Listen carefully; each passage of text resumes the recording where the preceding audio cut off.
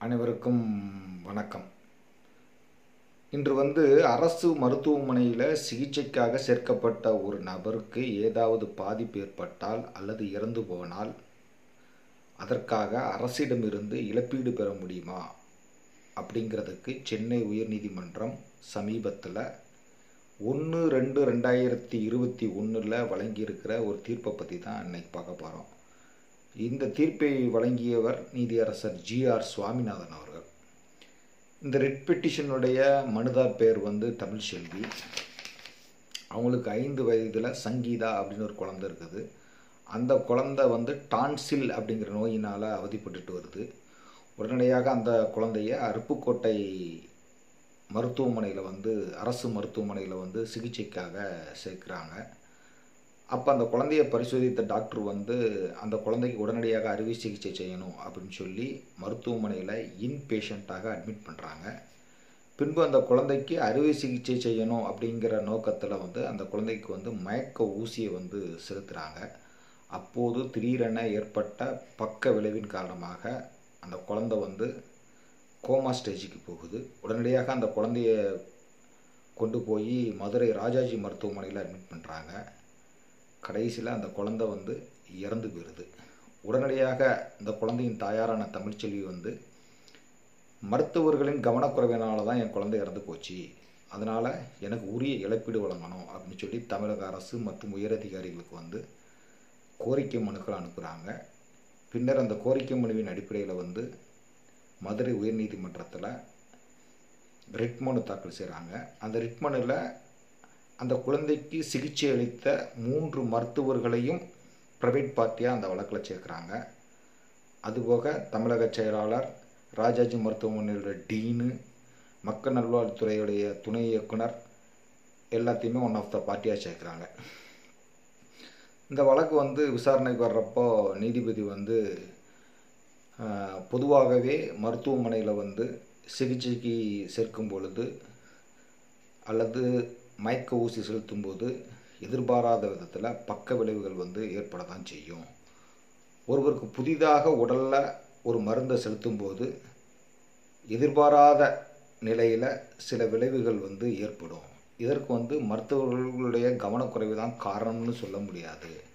அதனால் மருத்துவர்களை வந்து இதற்கு பொறுப்புக்குள்ளாக்க முடியாது. ஆனால் அரசு மருத்துவமனையில் சிகிச்சைக்கு சேர்க்கப்பட்ட ஒருவருக்கு ஏதாவது பாதிப்பு ஏற்பட்டால் அல்லது உயிரிழப்பு ஏற்பட்டால் அதற்கு வந்து அரசு வந்து தகுந்த இழப்பீடு வாங்கணும் வழங்கணும்.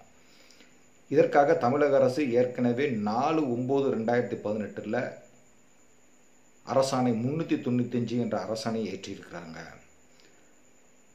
அதாவது டாக்டர்கள் வழங்கும்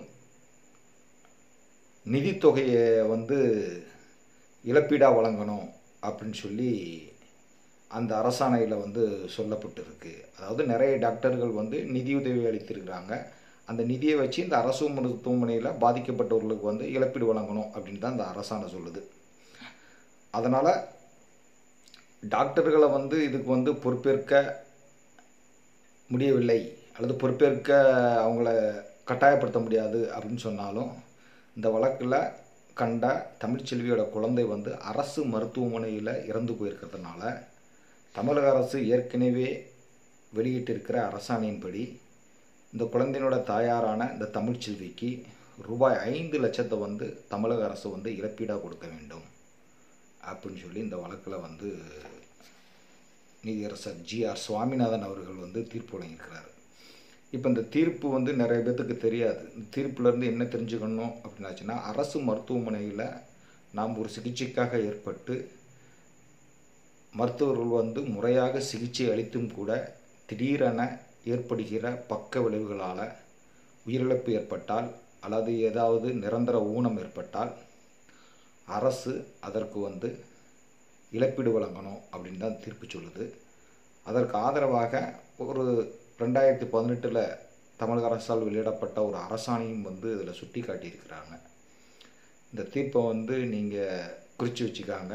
இந்த தீர்ப்பினுடைய விவரத்தையும் இந்த அரசாணனுடைய விவரத்தையும் நான் கீழே டிஸ்கிரிப்ஷன் பாக்ஸில் கொடுக்குறேன். இதை நோட் பண்ணி வச்சுக்காங்க. ஒருவேளை நீங்களோ உங்கள் உறவினர்களோ உங்கள் நண்பர்களோ உங்கள் குழந்தைகளோ வந்து அரசு மருத்துவமனை சிகிச்சைக்காக சேர்க்கப்பட்டு ஏதாவது அசம்பாவிதம் நடந்திருந்தால் இந்த தீர்ப்பை பயன்படுத்தி நீங்கள் தமிழக அரசிட்டிருந்து இழப்பீடு பெற முடியும் அப்படிங்கிறதுக்காக தான் இந்த தீர்ப்பை வந்து நான் வெளியிட்டு இருக்கிறேன் இது உங்களுக்கு மிகவும் பயன்படும். இந்த தீர்ப்பு வந்து உண்மையிலே வந்து ஒரு மிக அருமையான தீர்ப்பு அப்படின்னு தான் நான் சொல்லுவேன். கண்டிப்பாக பயன்படுத்தி கொள்ளுங்கள். நான் அந்த விஷயத்தை சுருக்கமாக தான் சொல்லியிருக்கேன். உங்களுக்கு தேவைப்பட்டுச்சுன்னா இந்த வழக்கினுடைய அசல் தீர்ப்பை நீங்கள் ஒரு முறை பார்வையிட்டு அதன் பிறகு உங்கள் கோரிக்கை மனுக்களை தயார் செய்து உங்களுக்கு தேவையான பரிகாரத்தை பெற்றுக்கொள்ளுங்கள். நன்றி.